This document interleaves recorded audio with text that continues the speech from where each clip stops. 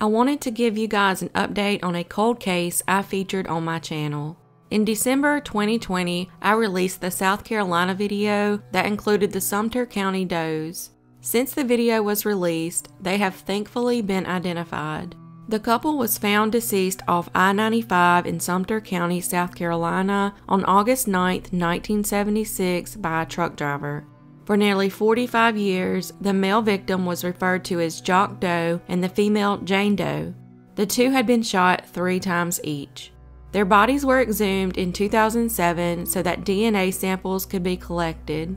In June 2019, that DNA was sent to the DNA Doe Project.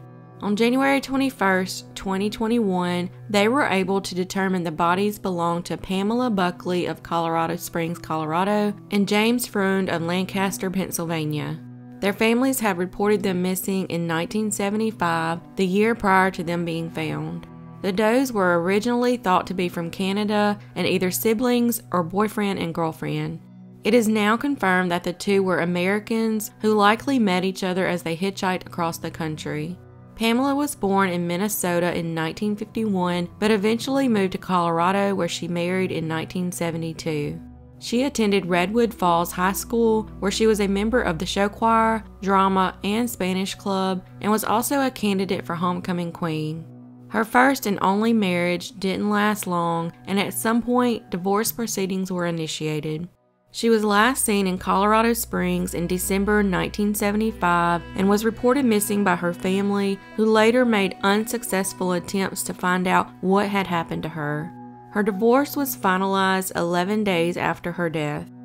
James was born in 1946 in Massachusetts, but later moved with his family to his father's home state of Pennsylvania.